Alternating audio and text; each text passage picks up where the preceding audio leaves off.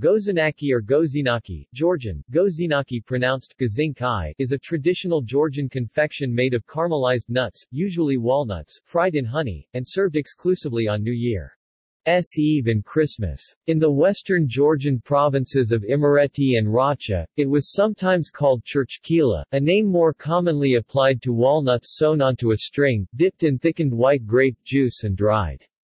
In several of Georgia S rural areas, both walnuts and honey used to have sacral associations. According to a long-established tradition, Gozinaki is a mandatory component of New Year's Eve Christmas celebration. See also Brittle, food Yeot-gangjeong References Ani Decanozides, December 14, 2007 Gozinaki, boil up the honey for a New Year's treat. Georgia Today